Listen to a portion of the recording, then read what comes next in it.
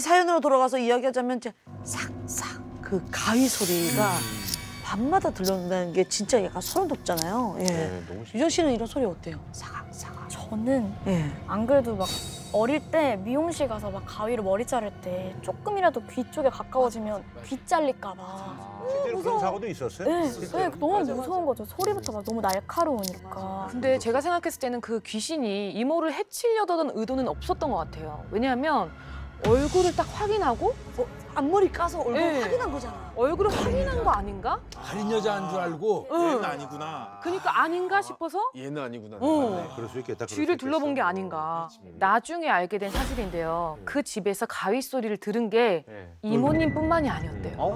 뭐야? 똑같은 소리 들었대요? 네. 바로 옆 건물, 바로 앞 건물. 예. 주민들 중에서도 밤마다 슥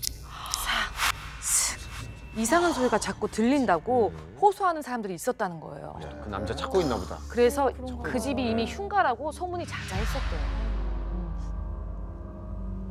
근데 이제 사실은 저희가 이제 오늘 소리를 이제 주제로 하고 있는데 소리가 주는 공포가 이게 사실은 뭐 어쨌든 뭐 의학적으로도 이게 검증이 된 얘기라면서요. 그렇습니다. 우리 한번 생각을 해봅시다. 음. 밤에 이렇게 자려고 누워 있는데 어쩌기 문을 두드리는 소리가 거예요. 어, 별별 생각이 다 들면서 이거 혹시 뭐 도둑이 드는 건 어쩌는가? 별 생각이 다 들겠죠. 공포감이 점점 극대화되는데 그래서 항상 영화에서도 보면 뭐 이렇게 귀신이나 뭐 살인마 이런 거에 등장하기 전에 항상 음악이나 소리로 이렇게 공포를 좀 고조해 가면서 이렇게 영화를 맞아. 만들어내곤 합니다. 그래서 뭐 엑소시스트 이런 영화, 액- 영화 중에 최초로 아카데미 작품상 후보로 오른 영화거든요. 근데 작품상 못 받았어요. 무슨 상 받았을까요? 음향상을 받았어요. 음향. 그러니까 공포 영화는 항상 그렇게 음향을 깔고 가게 되어 있습니다. 실제로 우리 뇌에서 청각 정보를 감지하고 처리하는 게 굉장히 빠르다라고 합니다. 예민함의 정도에서도 좀 차이가 있대요.